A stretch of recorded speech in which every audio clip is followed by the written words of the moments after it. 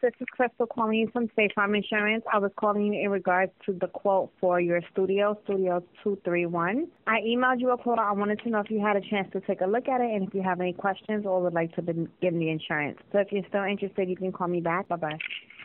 Yo, Juice, they hit me off, baby. All right, 150 G's, baby. What's this? After they take their things, I should get about like 80 or 70. Okay? We're about to become millionaires, baby. You with me? Give me a call. Uh, good afternoon or good evening, Francis. This is I really need you to fill that paperwork out as soon as possible. Your program has been approved, so all systems are go. But I don't have your clearances. So we need to set up a start date. I need you to get in touch with me. We need to so call me tomorrow, but get that paperwork completed and sent. Hi, this message is for Francis. This is Paul from Island Jeep. I'm just following up on your recent inquiry for the Wrangler. Could you give me a call back at 718-667-8989. 718-667-8989. Thank you. I have boss thoughts.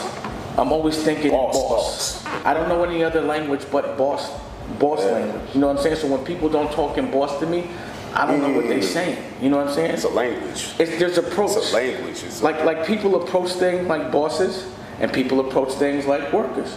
A lot of people don't want to be bosses because there's so much responsibility that come with it. Yeah. You understand? They're scared right. of it, and I always say that. You understand what right. I'm saying? Right. But a boss only can think about it in boss terms. So if somebody says they want to get in business, some people might say, "Oh, I need somebody to give me a job." That's not a boss thought. Right.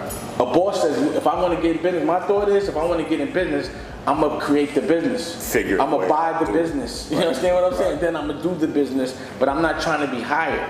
My approach is always gonna be bossy. You know, someone that's not used to being a boss, his, his thought process ain't bossy. Fluent he don't boss. have boss thoughts. Fluent boss. You understand what I'm saying? Right. Yeah, fluent and boss. And if you don't talk to me in boss, I don't understand what you're saying.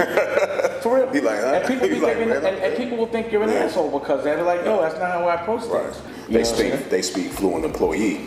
Yeah, they speak employee.